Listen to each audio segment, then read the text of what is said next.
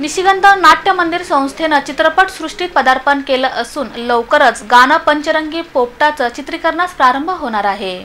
सोलापूरच्या नामांकित निशिगंध नाट्य मंदिर संस्थेनं चित्रपट क्षेत्रात पदार्पण केलं आहे. अशी माहिती संस्थेचे प्रमुख तथा चित्रपटाचे निर्माते दिग्दर्शक अरुण मेहता यांनी दिली. गाणी पंचरंगी पोपटाचं या चित्रपटाचं लवकरच चित्रीकरण करण्यात येणार असल्याचं त्यांनी सांगितलं.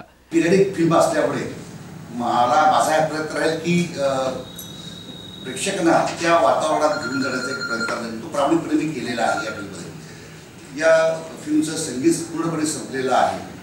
आणि संगीताचा ट्रॅक तरच आता मी शूटिंगला सुरुवात करतोय. पण त्याच्याबरोबर एक सोलापूरच्या कलाकारांना प्रोत्साहन देण्यासाठी म्हणून मी वीस तारखेला ऑडिशन ते सोलापुरात ठेवलेली आहे. या पत्रकार परिषदेस शैला मेहता प्रशांत देशपांडे हरी शर्मा व्ही. व्ही. पुजारी विलास क्षीरसागर आदींची उपस्थिती होती.